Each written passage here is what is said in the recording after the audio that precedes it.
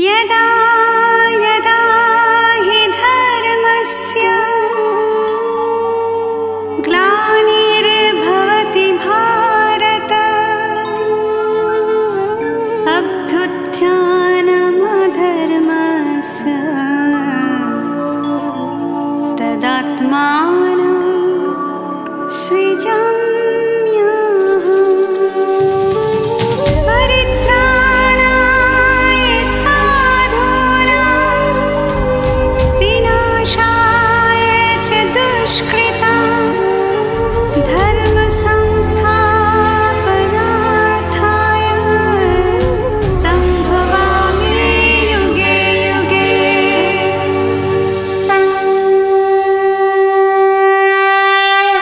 अध्याय दो।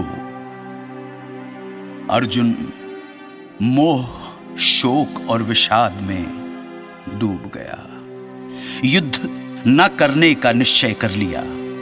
तब जड़, चेतन, सत्य, असत्य की पृथकता का निरूपण करके, आत्मा की अमरता, नित्यता एवं निष्क्रियता का निरूपण करके, वर्णों के अनुसार स्वभाव के अनुसार अपने अपने कर्तव्यों का निरूपण, समता, बुद्धि, इंद्रियों की प्रबलता और उनके नियंत्रण के उपायों का निरूपण करते हुए भगवान ने अर्जुन को पुनः समझाया। रणभूमि कुरुक्षेत्र का वृतांत बताते हुए धृतराष्ट्र से संजय पुनः बोले।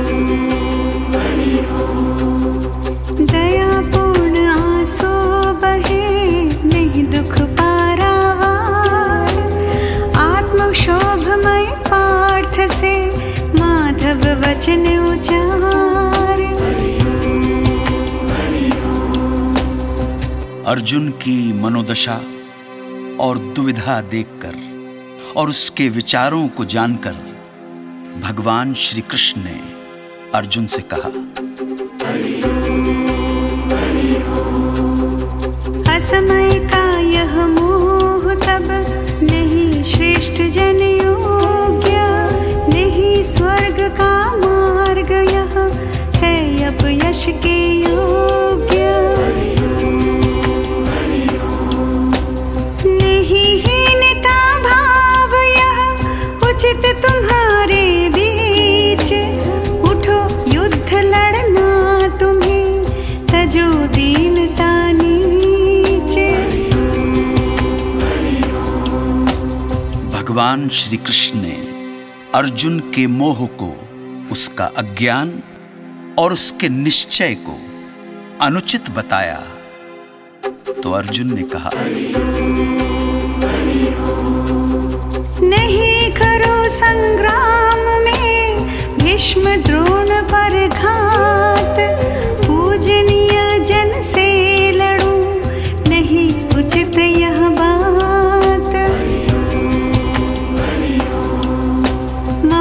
महानुभाव गुरुजन हनु, जाते भीक भलाए।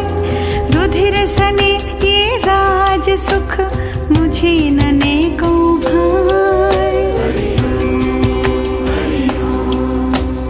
ऐसा कुछ निश्चित नहीं, जीत हो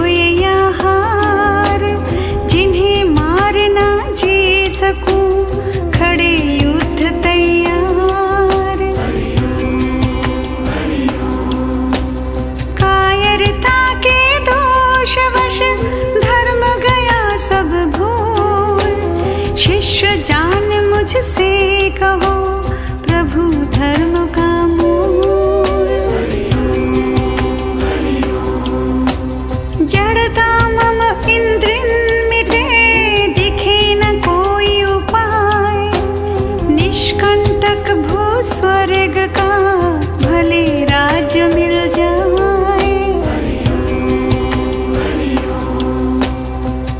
स्वयं श्री हरि के कहने पर भी अर्जुन का हृदय नहीं माना। वो अपनों पर ही शस्त्र न चलाने के निर्णय पर अडिग रहा। धृतराष्ट्र को ये बताते हुए संजय ने कहा, ऐसा कह श्री कृष्ण से हुई परंतप शांत। नहीं लड़ू कहते हुए चुप जा बैठे क्लांत।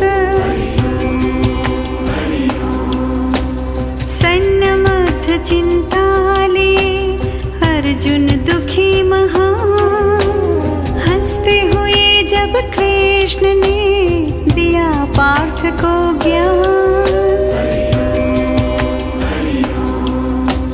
दोनों सेनाओं के मध्य खड़े रथ में अर्जुन दुखी, चिंतित और श्रीही यह देखकर भगवान श्री माधव ने पार्थ को यथार्थ समझाते हुए कहा। नहीं शोक के योग जो उनका करता शोक, जीवित या फिर मृतक का, पंडित करे न शोक।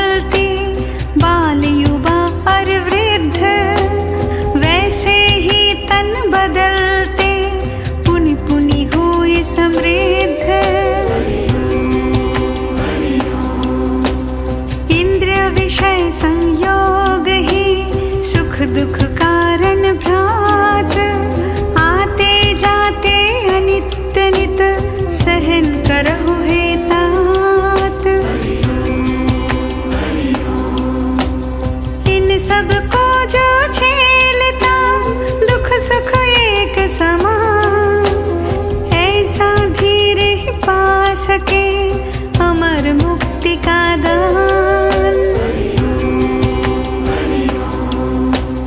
नहीं अस्तित्व असत का, सत का हो ये न नाश।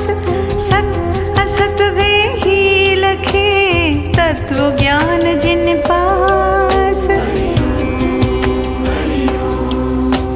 नाश रहित उस जानिए जिन रचा जगत अनंत, उस अविनाशी तत्व का कर सके ना कोई अंत।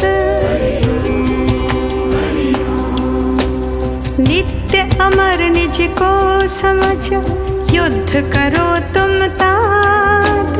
नित्य चिरंतन जीव है, पूर्ण सत्य यह बात।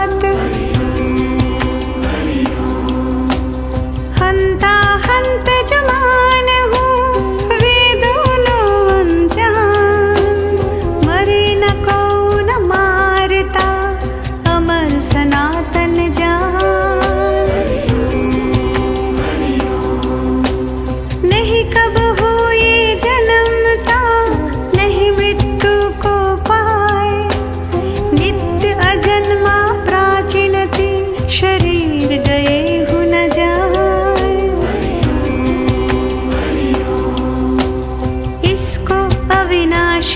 समझ तू अज अव्यय कहलाए।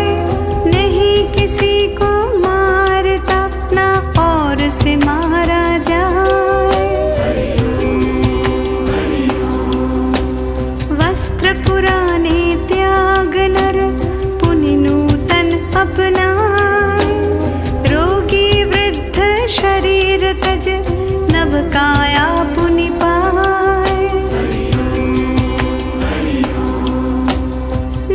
शस्त्र से ये कटे ना अग्न जराए। जल से भी ये ना गले, पवन सुखाना पाए। अच्छेद्य दह्य अक्लिद्य यह, नित अशुष्य कहलाए। अचल सनातन थीर सदा, कण कण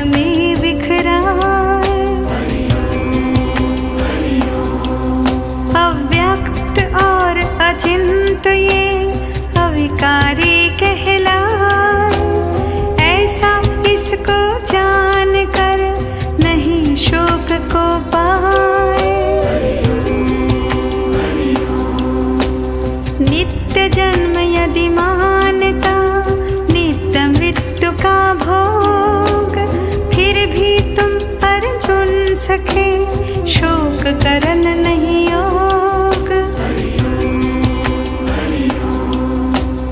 जन्म हुआ निश्चित मरण, मरे जन्म फिर होए।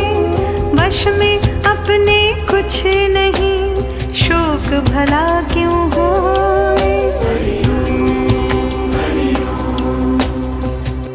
भगवान श्री कृष्ण ने अर्जुन को समझाया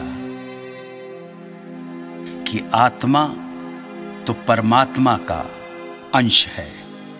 और ये अंश न मरता है, न मारता है। ज्ञानी व्यक्ति कभी जीवित या मृत के लिए शोक नहीं करते। जैसे शरीर कपड़े बदलता रहता है, वैसे ही आत्मा शरीर बदलती रहती है। सारे जीव काल के ही द्वारा उत्पन्न किए जाते हैं और काल के ही द्वारा समय आने पर मार दिए जाते हैं। निराकार प्राणी सुनो, व्यक्त बीच में होए। मरे बाद अभक्त पुनि, दुख को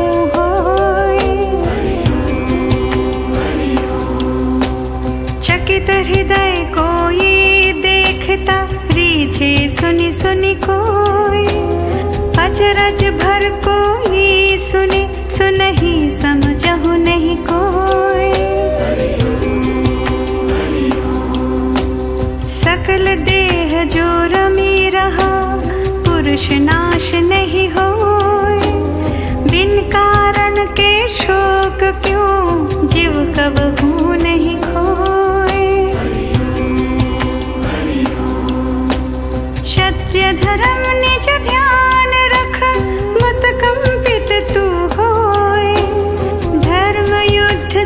श्रेष्ठ कछो नहीं शत्रुन को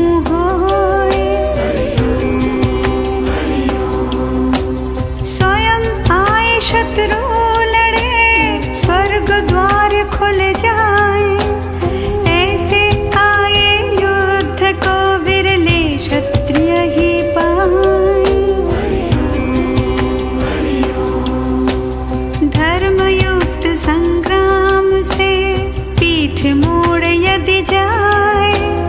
शास्त्र धर्म पर यश मिटे, पाप गले पड़ जाए। अपयश तेरा अमर बन, धरती पर लहराए। माननियों को अपयश सदा, मृत्यु से भी अधिक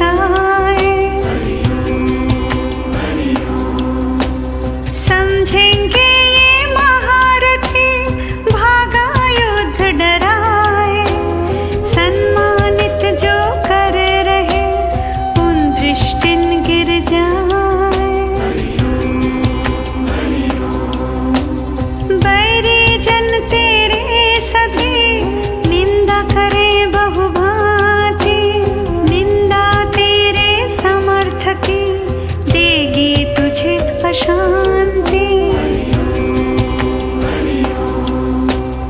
मरे स्वर्ग तुझको मिले, जीते भोग भुवि उठ, निश्चय कर युद्ध का, दूर भगा सब शोक। सुख दुख में समभाव रख, हानि लाभ जय पराजय भाव तज लड़ नहीं लागे तो ही पाप। कपिल सांख्य दर्शन कहा बुद्धि योग अब जान। जाके सेवन से सदा नहीं बंधन कोई काम।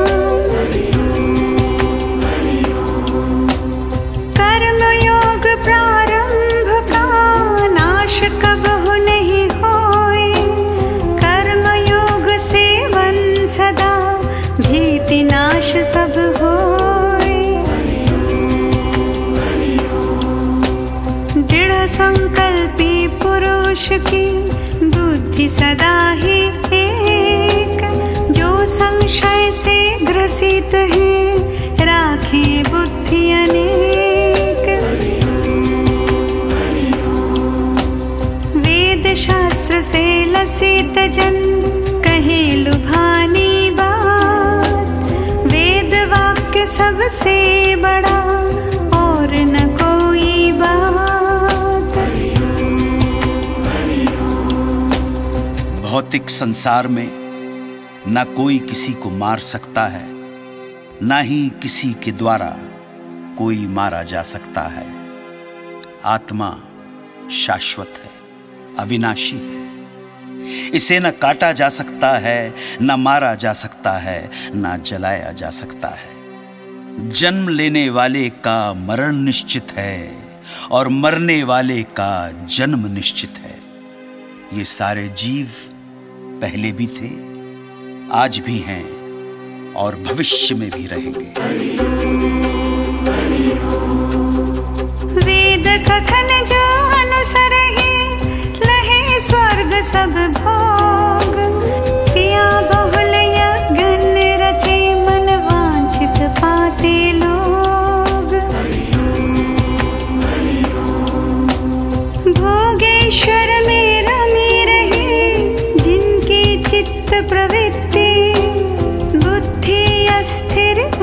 सदा ध्यान न लागे वृत्ति। त्रिगुणमयी वेद त्रय, इन सबको अपहाय। योग क्षेम सब भूल कर निज में ध्यान लगाए।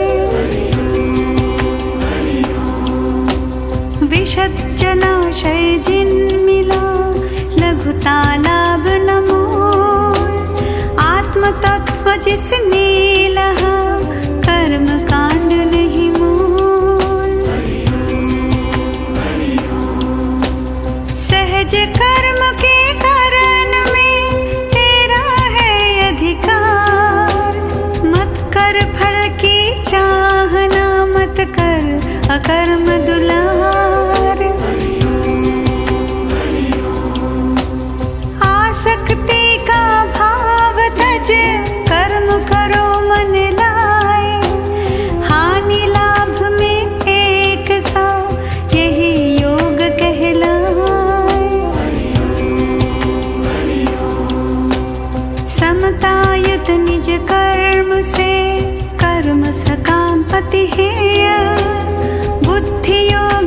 शरण ले, मन चाहे नित लेय बुद्धि योग औषध बड़ी, पाप पुण्य मिट जाए। प्रभु में लगन निष्काम कर्म कर्म कुशल कहलाए।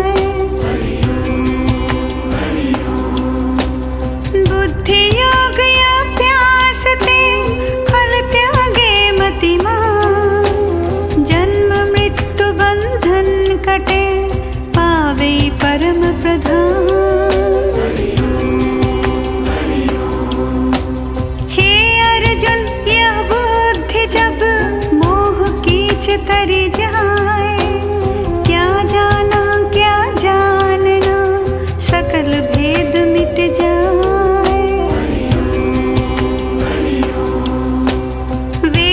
वचन चंचल मति, जब आत्म तत्व ठहराए।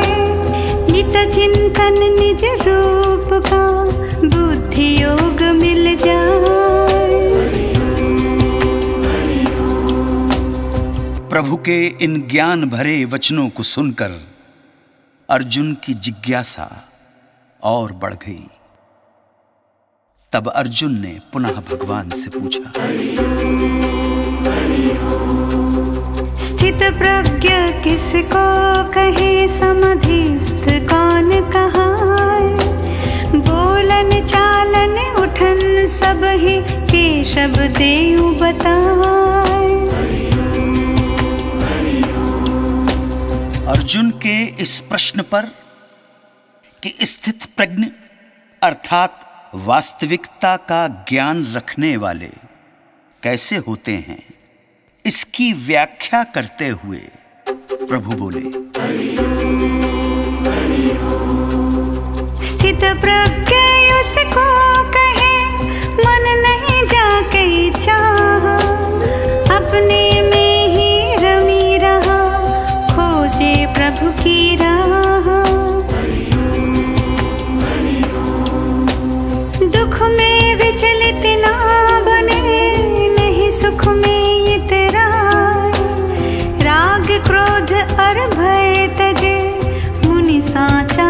कहलाए शुभाशुभ जो भी मिले, नहीं राग, नहीं द्वेष, निरासक्त उस पुरुष के मिटते सकल कलेश। कछुआ जीव निज अंग को ले समेट बच जाए। निज इंद्र वश करी, स्थित कहलाए। वश इंद्रिय अपनी करी, स्वाद लगन रही जाए।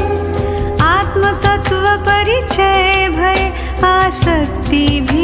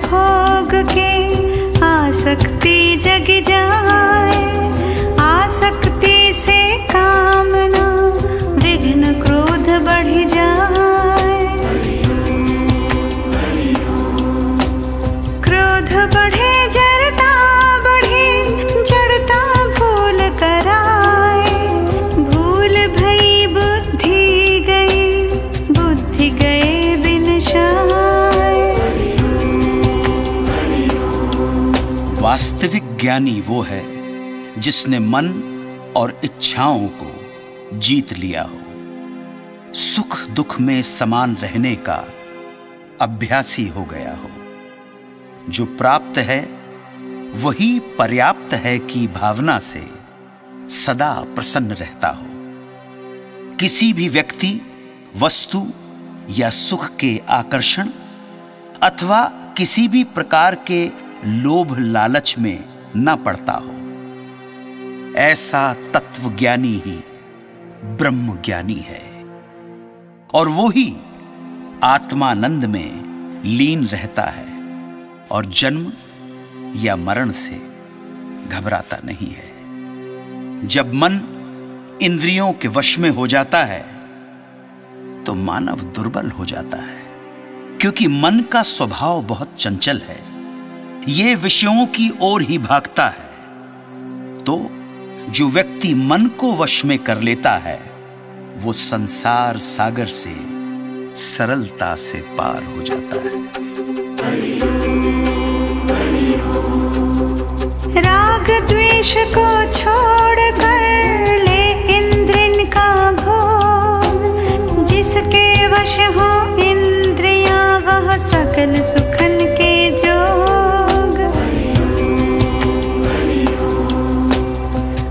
अंतकरण के सुख मिले, दुख भागे सब कोय निर्मल बुद्धि प्रभु मिटके, प्रसन्न चित्त फिर हो मन इंद्रिय कमज़ोर यदि बुद्धि योग नहीं पाए, बुद्धि भावना हीन जन कब चैन नहीं पाए। इंद्रियन के साथ जब मन गठबंधन होए, वायु नाव संपर्क जिमी रोक सके ना कोई अतः मनुज को चाहिए इंद्रिन कसई लगा विषय दूर इंद्रिय भय, बुद्धि करे शुभ काम।